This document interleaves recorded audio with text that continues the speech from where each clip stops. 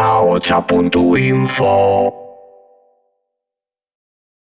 Pues el premio que da Gora Iruña lo damos todos los años a colectivos que han trabajado durante el año por unas fiestas populares participativas paritarias y euskaldunes, o sea, un poco para, para, premiar el trabajo que han realizado durante todo el año. Y este año lo vamos a dar al grupo de trabajo por unos Sanfermines en igualdad. Se creó a principios de este año, eh, es una iniciativa que partió del Consejo de la Mujer del Ayuntamiento de Iruña,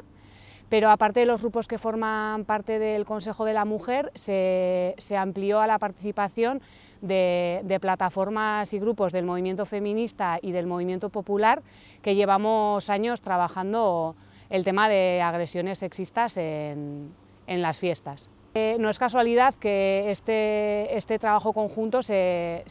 comience este año y el movimiento feminista y muchos, eh, muchos grupos del movimiento social llevamos muchos años eh, denunciando las agresiones sexistas que se dan en San Fermines, el tratamiento que se ha dado de ellas y muchas veces ese, esa imagen de, que se está vendiendo de Iruña en San Fermines, de que todo vale, ¿no? E incluso se han vendido las, las, agresiones sexistas como algo normalizado y algo que, que nos hace gozar de las fiestas, ¿no? Entonces, bueno, eh, llevamos ya muchos años denunciándolo y sobre todo el año pasado eh, eh, el, debate tuvo un eco mediático muy grande con el tema de, las imágenes del chupinazo y así, muchos medios de, de, aquí Euskal Herria, del Estado y, de, y medios internacionales, pues pusieron un poco el, enfoque en, el tema de las agresiones San Fermines. Entonces nosotras creemos que fue un punto importante para que el ayuntamiento eh, viera que realmente es un tema importante que le influye a sus fiestas y a su ciudadanía y que, y que a partir de entonces tenían que empezar a trabajarlos. Y nosotras valoramos que ese es el punto de partida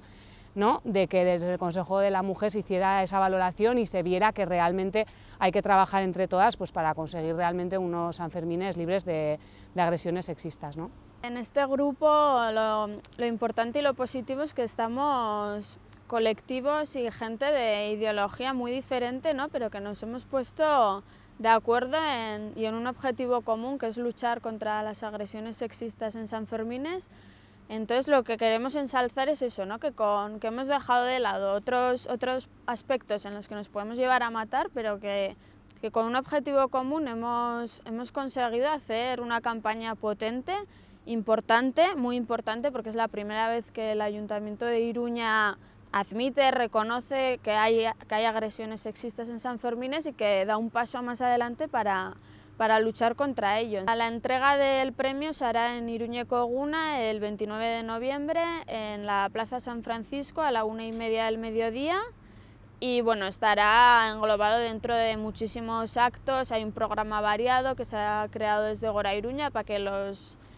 ciudadanos de Iruña celebren su día como, como merecen.